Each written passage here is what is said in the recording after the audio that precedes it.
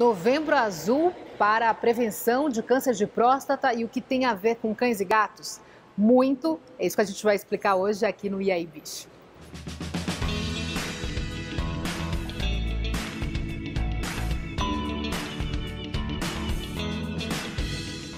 Já fica aqui o meu convite para você participar. Curta, comente, compartilhe, mas também se inscreva no canal. Isso ajuda muito para que a gente continue a fazer esse trabalho por aqui. Bom, a gente vai falar sobre Novembro Azul. É o mês que a gente fala da prevenção do câncer de próstata. Muito importante para os homens, para os humanos, mas também para os animais. Cães e gatos também têm câncer de próstata. Agora, você sabe dizer quais são os sintomas? Como faz o diagnóstico e o tratamento?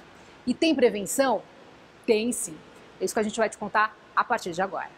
Nós temos aí uma incidência de cão não castrado beirando aí a, a 80% dos animais não castrados podem desenvolver uma doença de próstata, que pode ser uma hiperplasia, que é o famoso câncer benigno, né?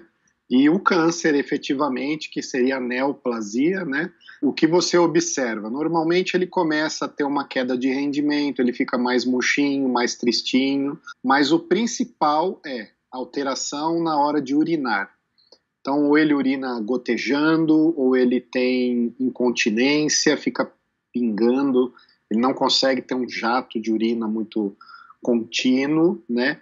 Ao urinar, ele reclama um pouquinho de dor e podendo, dependendo do, do aumento, do tamanho do aumento da próstata, ele pode também parar 100% de urinar. Ele não consegue urinar isso vai fazer com que a, a bexiga dele encha bastante de urina e aí ele vai ter uma dor abdominal muito profunda que você vai encostar na barriguinha dele e ele vai ficar, vai gritar ou vai tentar morder, enfim. Normalmente vai levar no seu veterinário de confiança, né? Ou no caso do, do manúria, né? Que é aquela que não urina mesmo e Aí é um serviço de emergência, não tem jeito. Pode até ter o toque retal, existe também a possibilidade, tá? Como tem no ser humano, mas normalmente um, uma ultrassonografia abdominal ali já resolve, já consegue dar uma visualizada boa na próstata e aí você consegue já dar o diagnóstico. Ultrassom, exame de urina já resolve bem ali. Tratamento aí é castração, tá? E alguma medicação que a gente usa ali, puxando da linha humana, para poder resolver esse problema. Diagnosticado, ou se a suspeita for muito forte de neoplasia, tá? Que é o câncer? É, que é o câncer maligno, né, que o pessoal fala, aí a intervenção provavelmente é cirúrgica, seja por vídeo laparoscopia, né, ou você faz ali uma, um diagnóstico colocando uma câmera e vai tentando fazer a retirada para fazer a biópsia, ou cirurgia aberta mesmo, abre a barriguinha, né? Entra, faz, retira a próstata, tá? Animal castrado pode ter? É raríssimo, raríssimo. Pode acontecer? Pode, mas é muito raro. A gente está falando aqui de sofrimento, de dinheiro que vai, de preocupação. Tem como prevenir tudo isso?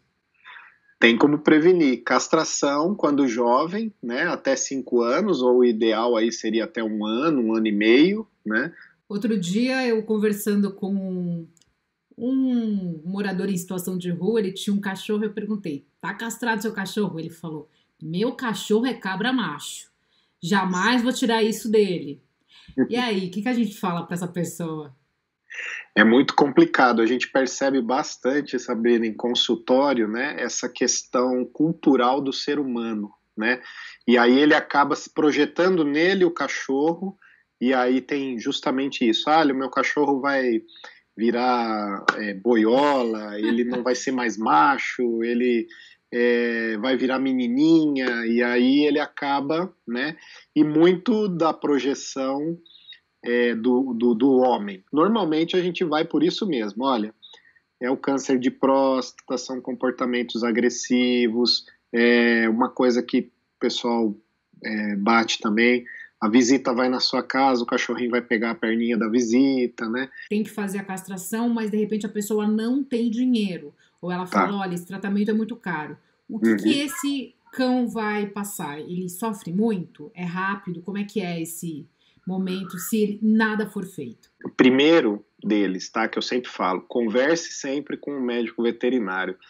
Mesmo a pessoa não tendo de repente uma condição, uh, todo médico veterinário vai tentar de alguma forma ou ajudar ou apontar para algum lugar. Hoje nós temos universidades, nós temos em São Paulo é, hospital público, né, que, que faz alguma coisa, enfim. Mas na alternativa de não conseguirmos nada, aí vai depender muito, Sabrina, de como tá isso aí. Se a próstata realmente ocluir toda a passagem da uretra, né, é, é um sofrimento muito grande, porque a, a bexiga ela vai encher, encher, encher, encher até ela, enfim, explodir lá dentro, né, estourar e aí vai extravasar urina na cavidade abdominal. Isso é uma dor assim imensurável, né?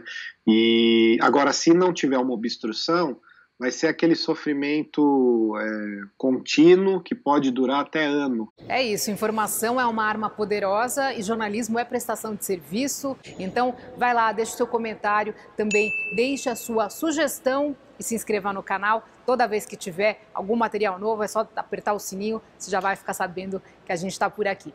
Um beijo, até o próximo vídeo. Tchau!